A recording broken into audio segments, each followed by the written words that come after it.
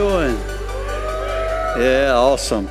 Uh, it's been a great morning, other than the chaos that I created in the parking lot over the last few hours. So it's all good. Uh, I went 17 minutes over in the first service, and yeah, a lot of the parking people are not happy with me, right? It's great to have you guys excited. I will promise I'll try not to go 17 minutes over in this service because I know you're hungry. Oh, hey, thanks. I appreciate that. Um, but we want to take a moment, uh, and we just typically take a first Sunday of the month and uh, talk about defining moments. And so, just like to catch you guys up to speed with that. Defining Moments is a two year initiative that we started back in December of last year um, to begin to raise funds for, uh, for our uh, building expansion. Um, it's not about the money, it's about the mission that God has called us to as we continue to grow um, as the body of Christ and to grow as a church. We believe that this was the next step for us as a church. And so we started that journey. Um, those of you who are giving to that, thank you so much. And we just wanted to give the church family, the church body, an update on where we are. Um, there's information in a booklet that's out on the table if you'd like more information about it, um, or if you'd like to go to the website, there's also some information there, and you can see pictures and all that kind of fun stuff uh, on the on the website. Our goal uh, for the capital campaign and for the initiative was 4.6 um, million, uh, which would help us in accomplishing the things that we, we wanted to accomplish. Uh, we had pledged back in December when we had a pledge, we had 2.4 that was actually pledged, and you can see that obviously there's a little bit of a gap there.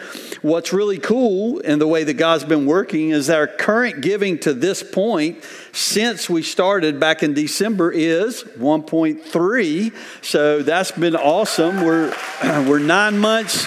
We're nine months into this um, and uh, have already seen 1.3 come in.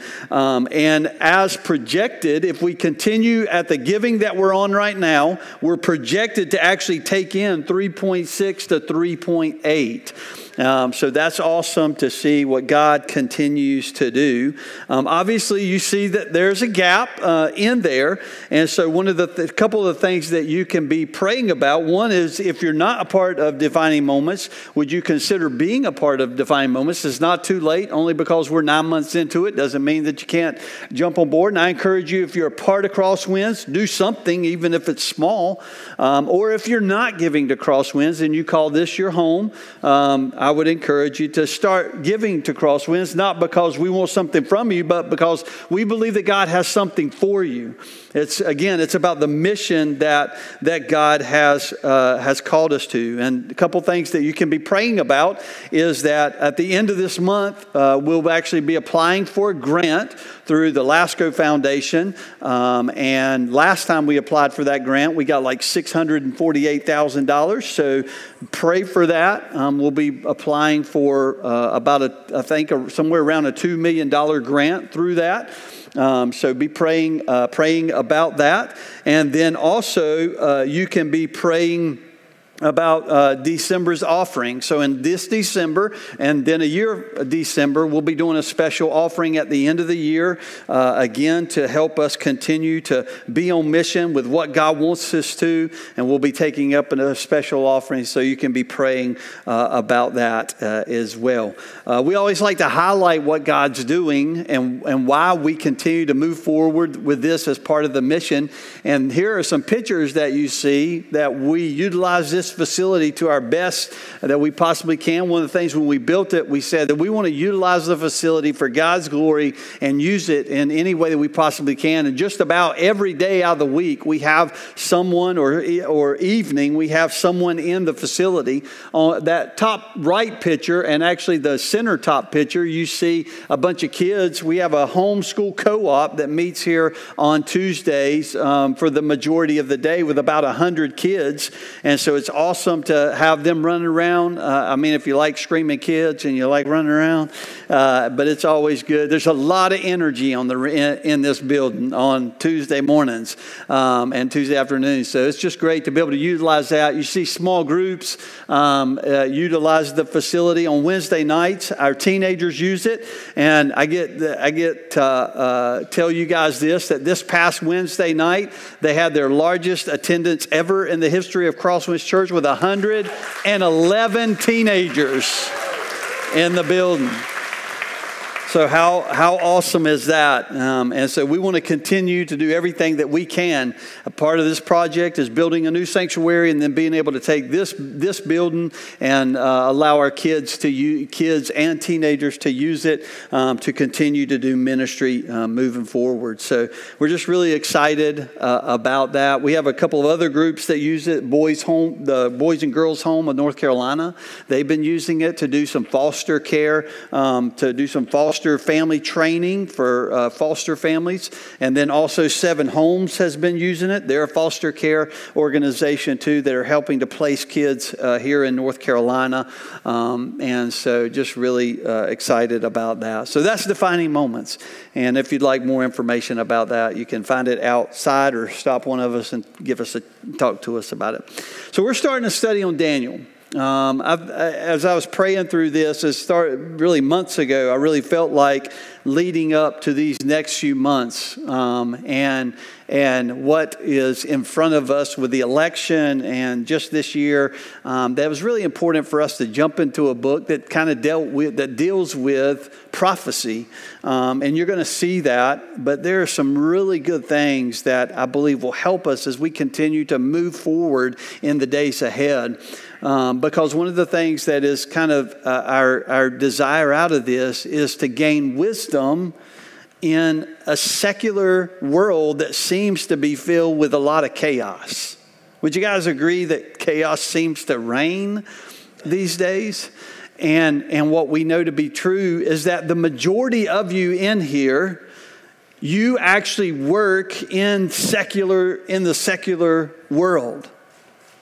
Um, you, you spend a good portion of your days, whether it's at your job or whatever it might be that you're doing, the majority of you um, are, majority of us, uh, including myself, probably not as much as you. I don't have a secular job that I go to uh, every single day. I mean, these people I hang out with most of the week here, they're pretty decent. And, um, uh, but, but learning to live in faith in a secular world. And, and to be able to walk through and navigate the days that we're living in and the society and the culture that we're living in with godly wisdom and with godly faith can actually create its challenges.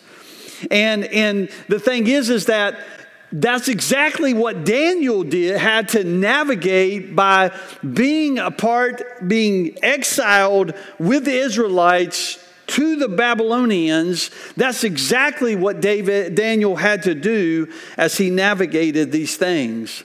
Because here's the, here's the truth it is possible for us to live by faith in a secular world.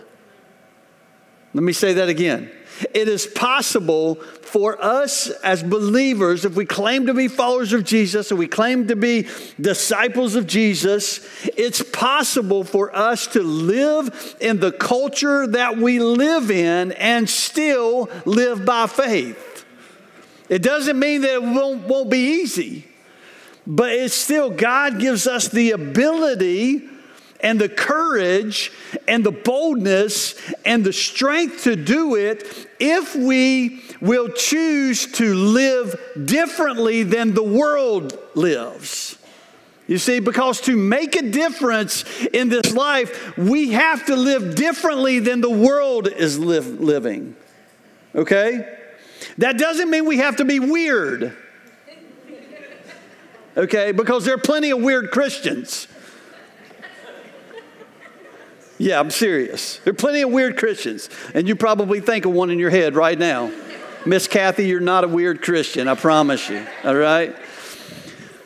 but living differently, that there are some things, and we see that in Daniel's life, that there were some things that he actually did differently, and that if we're going to be followers of Jesus, there's going to be this tension in our lives between living the way the world lives and then living the way God wants us to live. And we're going to bump up against that on a regular basis, especially for the majority of you who live and work in a secular environment, in a secular world. And so let's look at Daniel, Daniel chapter 1. I'm going to read the whole chapter. It's 21 verses, so you guys hang, hang in there with me. If I say a word wrong, you can call me out. That's okay. But Daniel chapter 1, verse 1 says, In the third year of the, of the reign of Jehoiakim, king of Judah, Nebuchadnezzar, king of Babylon, came to Jerusalem and did what? He besieged it. Okay? So this actually speaks all the way back to Genesis chapter 11 where the Israelites tried to build a tower, the Tower of Babel, um, because they, they believed if they could build a tower that would get them to heaven and closer to God. And essentially, what they were doing at the beginning of this was they were setting man up to be the center of the world. Not God, but they were setting man up to be the center of, of everything. That was, that, that was their goal, that was their attempt. And because of, of the Israelites' disobedience in 605 BC, God actually gave them over. He, he kept his promise in that if they were not obe- obedient, they did not walk in obedience, then he would exile them. And so in 605 BC, King Nebuchadnezzar comes into the picture. He besieges uh, Jerusalem and they and takes them to Babylon, Babylonia. It says, And the Lord delivered Jehoiakim, king of Judah, into his hand, along with some of the articles from the temple of God. Uh, these, uh, these he carried off to the temple of his God in Babylonia and put in the treasure house of his God. Then the king ordered um, Ashpenaz, chief of his uh, court officials, to bring into the king's service some of the Israelites from the royal family and the nobility. Young men without any physical defect, handsome, showing aptitude for every kind of learning, well informed, quick to understand, and qualified to serve in the king's palace. He was to teach them the language, look, okay, verse, this, this is really important.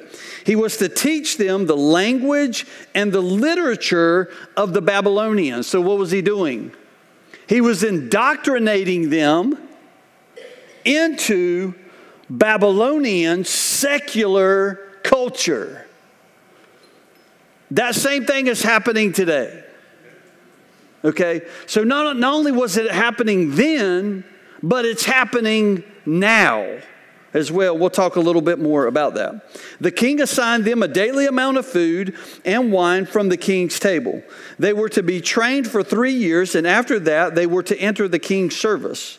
Among those who were chosen were some from Judah Daniel, Hananiah, uh, Mishael, Azariah, and Azariah. The chief official gave them new names. He didn't like their name. So they gave them uh, other names, more like Babylonian type names. And so he called them Belteshazzar. Hananiah became Shadrach, Mishael became Meshach, and Azariah became Abednego.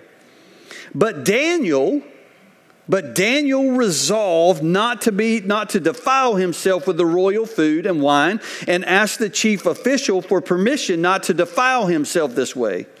Now, God had caused the official to show favor and compassion on Daniel. Is God working? Absolutely. He's allowed, the, he's allowed the Israelites to go into captivity, into exile because of their disobedience. But guess who's still there? God is. And he's still showing himself, he's still giving favor to Daniel. But the official told Daniel, I am afraid of my lord the king, who has assigned your, assigned your food and drink. Why should he see you looking worse than the other young men your age? The king would then have my head because of you. Daniel then said to the guard, whom the chief official had appointed over Daniel, Hananiah, uh, Mishael, and Azariah, please test your servants for 10 days. Give us nothing but vegetables to eat and water to drink. Then compare our appearance with that of the young men who eat the royal food, and treat your servants in accordance with what you see. So he agreed to this and tested them for 10 days. At the end of the 10 days, he looked healthier and they looked healthier and better nourished than any of the young men who ate the royal food. So the guard took away their choice food. I bet they didn't like Daniel at this point, right? They had been given royal food and wine to drink. Daniel said, I don't want this. They tested him for 10 days, and then the, then the guard took it away from the rest of the guys. They were like, oh, I don't like this Daniel guy. Uh, so the guard took away their choice food and the wine they were to drink and gave them vegetables instead. To these four young men, God gave knowledge and understanding of all kinds of literature and learning, and Daniel could understand visions and dreams of all kinds. At the, end of the, at the end of the time set by the king to bring them into his service, the chief official presented them to Nebuchadnezzar. The king talked with them, and he found none equal to Daniel, Hananiah, Mishael, and Azariah. So they entered the king's service in every matter of wisdom and understanding about which the king questioned them. He found them ten times better than all the magicians and enchanters in his whole kingdom. And Daniel remained there until the first year of King, uh, King Cyrus. Okay, so I want to give you a couple thoughts for a couple of things about Daniel, uh, the book of Daniel first. This was God's plan because of Israel's disobedience, this was God's plan to fulfill his promise and actually send them into exile. And here's what I want to say about that God allows bad things to happen to good people. God allows bad things to happen to good people. But what we know is that even when bad things happen, God is still there right? It was because of their disobedience that God said, okay, well, if you're going to be disobedient, then what's going to happen is here are going to be the consequences of your disobedience. Because here's the thing in our disobedience, there's always consequences. But fortunately, God still loves us because not only do we see God in Daniel allowing the Israelites to be exiled, but he, we also see the redemption of God in Daniel. And actually, through the book of Daniel, we see Jesus. It's actually a picture of Jesus, uh, and the is a prophecy of the coming of Jesus.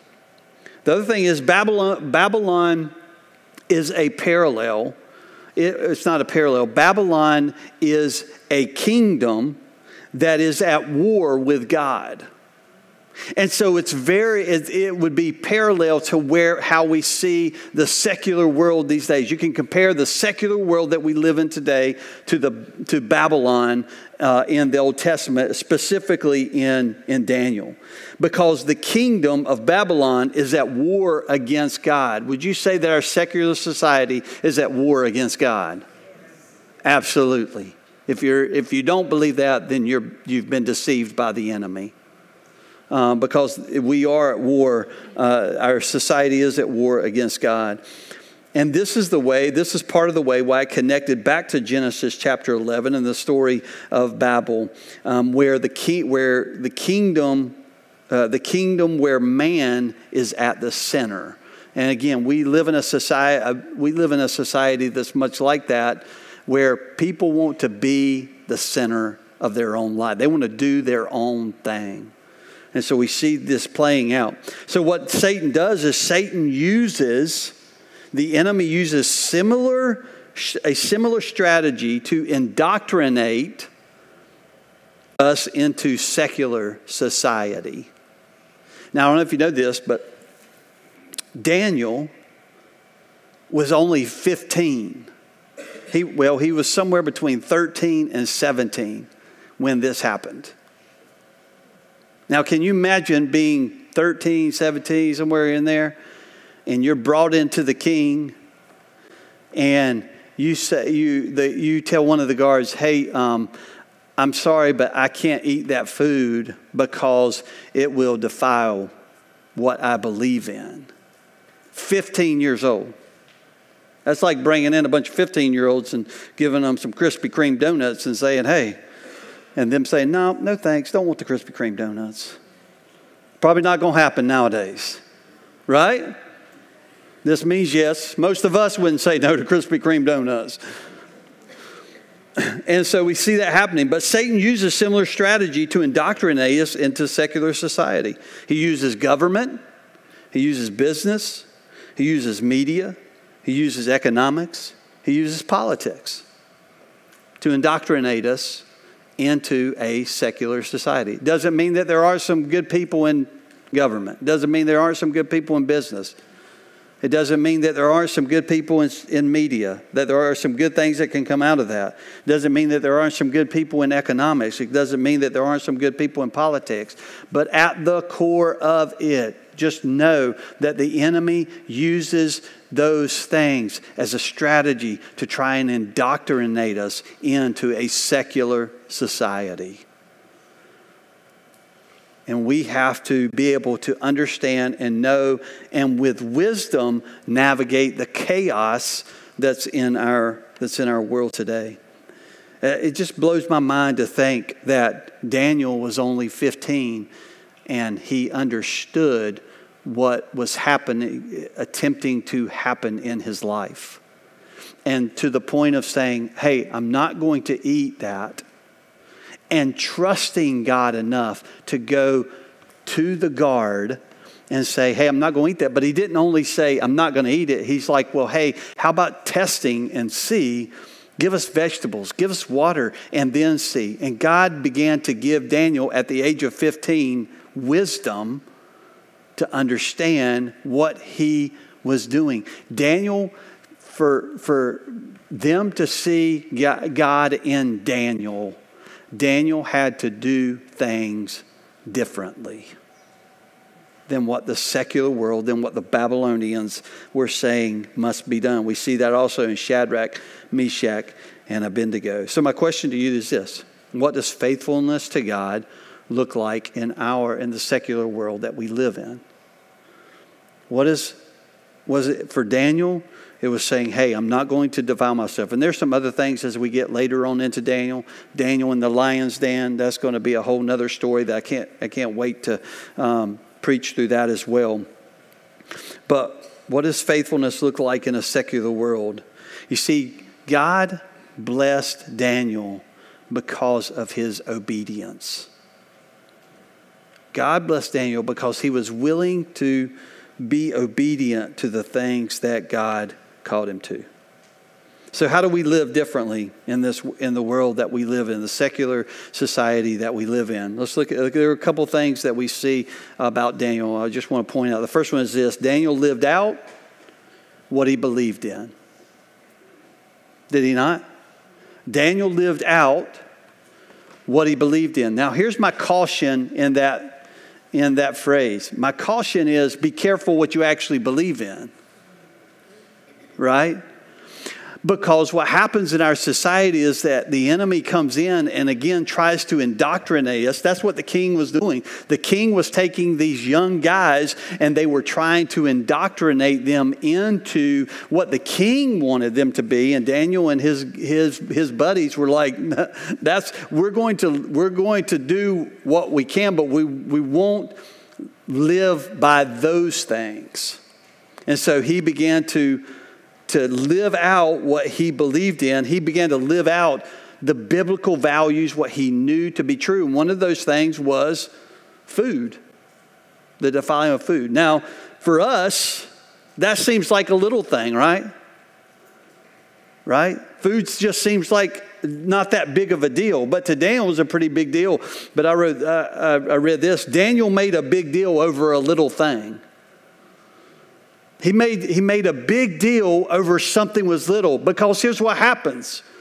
What happens in our society these days is that most of the time when something goes wrong, it because it started with something small. It started with something small. It's called the slow fade. Most people who become addicts or become alcoholics or whatever, it doesn't just, they don't just all of a sudden drink themselves to death the very first day. It starts with one drink, it starts with one small thing. It's, it's, like, it's like marriages. There are a lot of marriages nowadays that end up broken and in divorce because of bad choices. But most of them, listen, I've, I've been able to counsel new couples that are getting ready to, or they want to get married. And most of them, when I ask them, why do you guys want to get married? They're like, oh, because we know that we're going to cheat on each other and get a divorce. They don't say that because they get into the relationship thinking they want a lifetime together. And so, why is it that within the first seven years, all hell seems to break loose? Is because one small thing tends to get in the way. And instead of pushing back the darkness in, in our marriages, we let that one small thing. And most of the time, it's because you, it's called the sin of offense. Your spouse offends you. And you hold on to it, and it becomes bitterness. It becomes a root of bitterness. And when you don't deal with the small things, the small things become big things. Daniel didn't compromise even on the small even on the small things. He lived out what he believed in. But here's what our secular society wants us to compromise on. Here's what our secular society wants us to believe in. There are three things that are probably at the top of the priority when it comes to our secular society power, sex, and money. Power, sex, and money. Those are the three things that if you were to look at our secular society that we live in, it's what, what the enemy is saying, hey, I want, uh, we want, that's what we want you to buy into. Buy into this lie. That power, if you have power, that means you have control. That means you have control over people. And that's what the secular world wants. That's why we have a lot of narcissists in our society is because we've become power hungry people. When we can control people, when we can when we think that we can control people and we can control things, then we can climb this ladder and get to a place of power and position. But what's very interesting is that that's what the secular world says, but the way the biblical view of that is that power actually comes out of a place of humility, right? Daniel humbled himself as a 15 year old in the service of the king, but he would not, he still lived out what he believed in. And I just found this out, and I found this really interesting. One of the, we have a couple retired pastors that are here, and they often give me some advice on passages that I've studied or taught from. And I didn't know this. And he actually came up, one of the former pastors came up to me afterwards and he said, I don't know if you know this, but those guys, Daniel, Shadrach, Meshach, and Abednego, um, when they went into the service of the king, they actually were castrated. Now, can you imagine being a 15 year old and having to navigate that, but now you're also telling the guard that you're not going to defile yourself? I can't, I can't imagine what just emotionally Daniel is having to navigate in this. The second thing is sex. The world says, if it feels good, do it. It doesn't matter who it's with. It doesn't matter how many times. It doesn't matter how often. All this kind of things. You're like, well, Pastor Chris, you're being a little too explicit this morning. Sorry, the Bible is R rated. It just is. And some of you are going to have to go home have some conversation with your kids. If they're sitting in here, you probably should already be having those conversations. Sorry. Um, but our sex, uh, our, our sex, our world says, you know, that. But God says that He created it as a gift in the context of marriage with a biological man and a biological woman.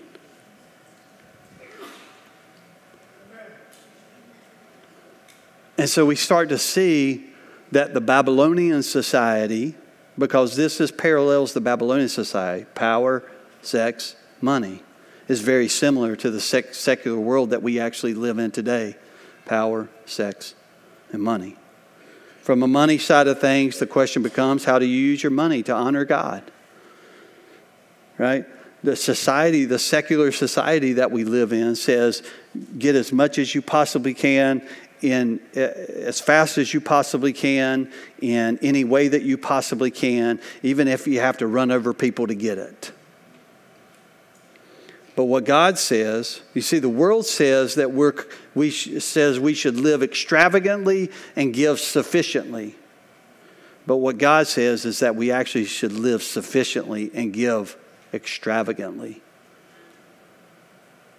Two different two different ways, right? Romans 12, 2. Do not conform any longer to the pattern of this world, but be transformed by the renewing of your mind. So as we live in a secular world, when we take on biblical values, when we take on um, living what we believe, then we actually start to do things very different than what the world does them.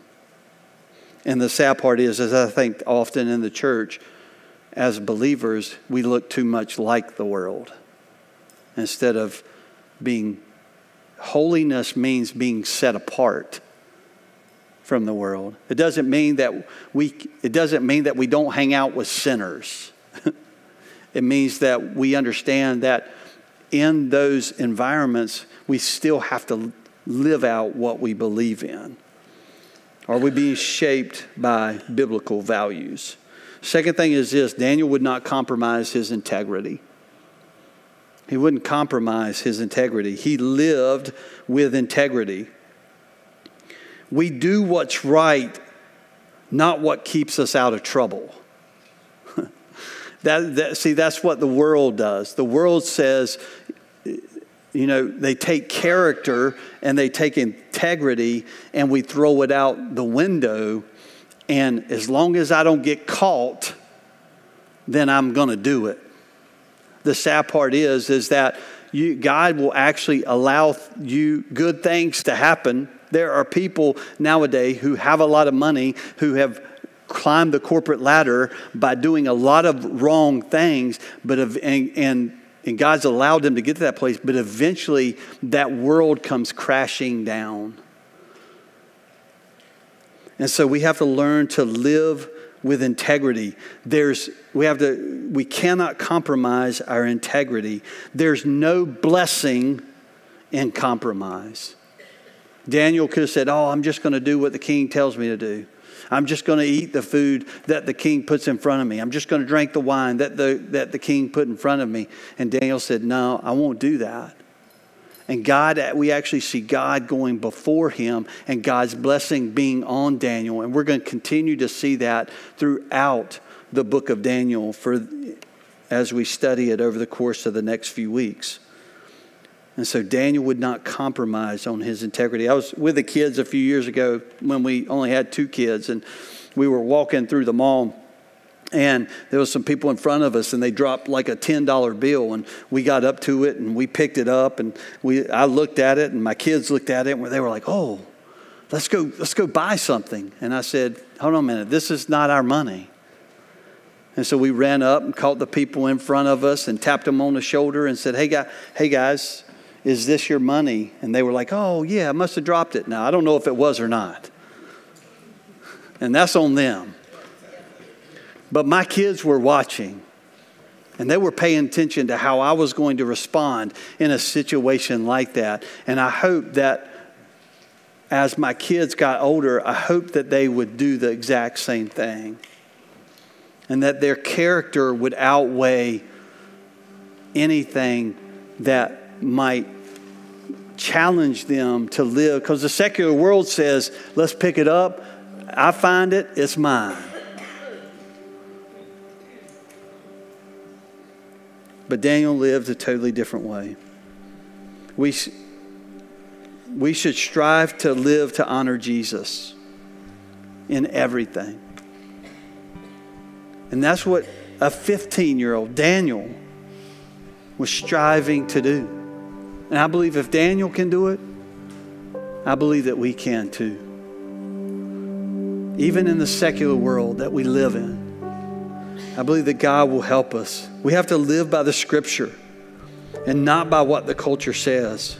We conform our heart and our life to the scripture. We scripture becomes our guide.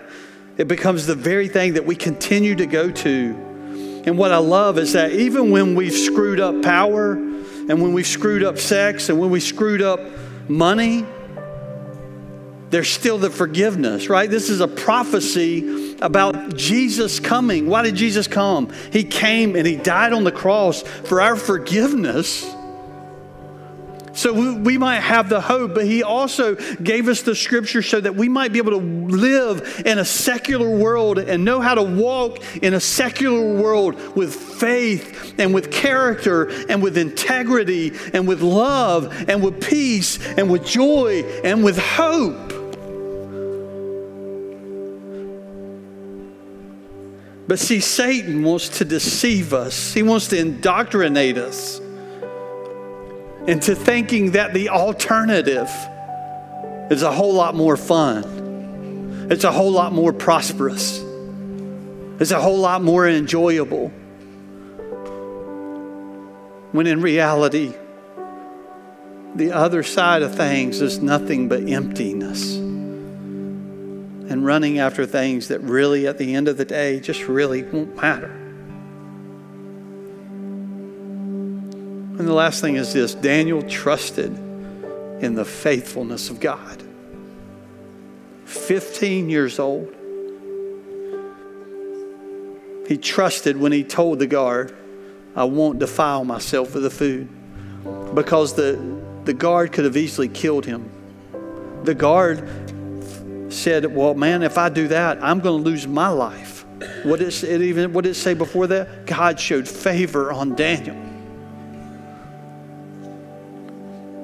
We can trust the faithfulness of God because God is always faithful.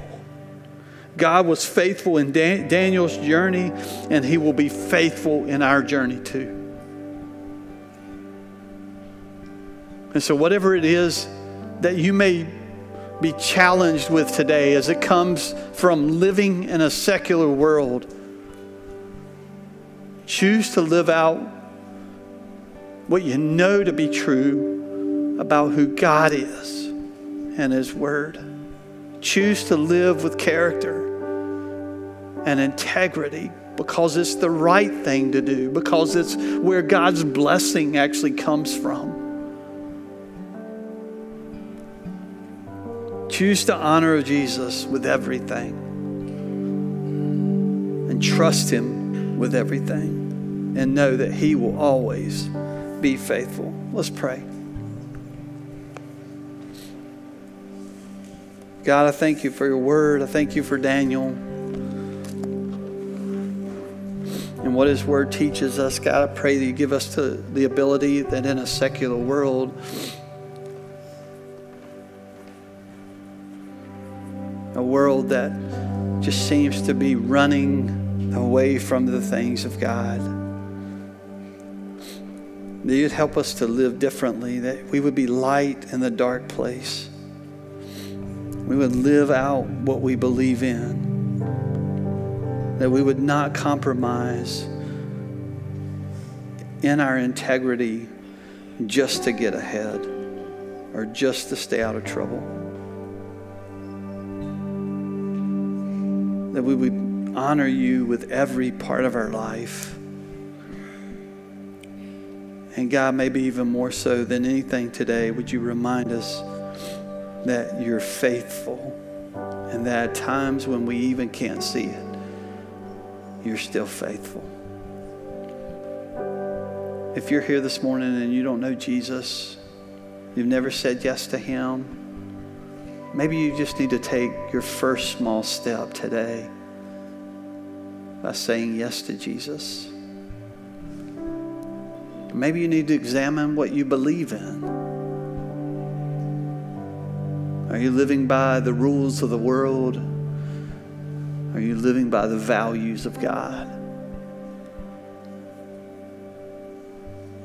Has your character and integrity gone to the wayside? And maybe you need to make something right. Maybe there are some things in your life that you've chosen not to honor the Lord with, and today you just want to make that decision. Just confess it to the Lord in this moment. God, give me a new heart, transform me, and help me to live out biblical values. In Jesus' name we pray. Amen. We stand with us. Let's sing this song together.